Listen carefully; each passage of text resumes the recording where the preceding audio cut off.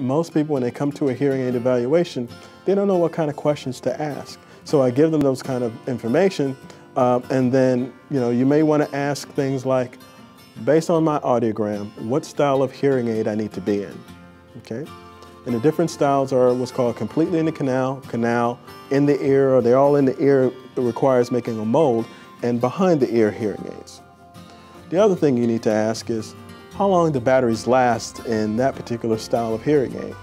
Okay, and I would say, uh, how long do you think the battery would last? And uh, they said, well, you know, I don't know, I didn't think about it. Well, the batteries typically last, depending on the hearing aid, if it's a really small hearing aid that most people want, uh, that's more expensive, the battery only lasts about three to four days. Then as you get bigger, it can last anywhere from, let's say three to four days to almost, let's say, mm, two weeks for a battery. You need to ask, if I come in to have my hearing aids adjusted, do I need to pay for that?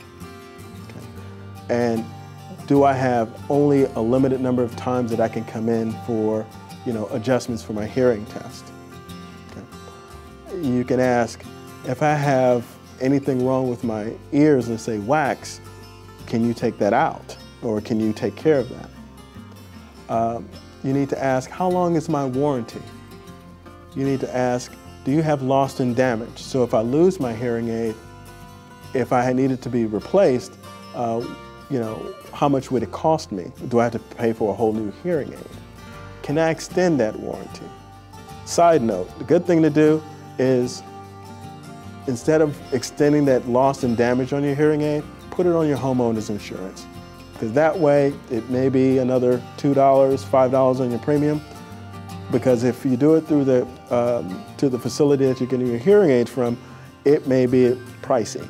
So that after your first year or two, you might want to put it on your homeowner's insurance. And that's what we typically tell patients.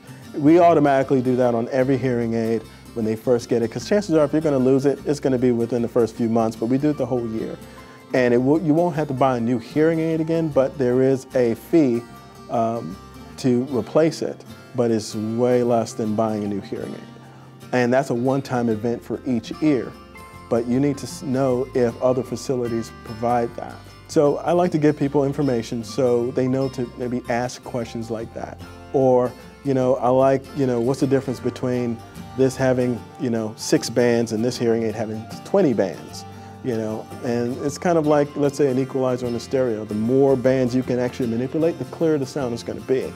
So those are kind of things I, I would like to inform patients at the time we do a hearing test and say, when you come back, or if you come back, you you know, most people come in with a notepad and say, okay, I'm going to ask these questions, and our job is to answer those questions. Uh, and our job is to really to inform them to make the decision that they need to make.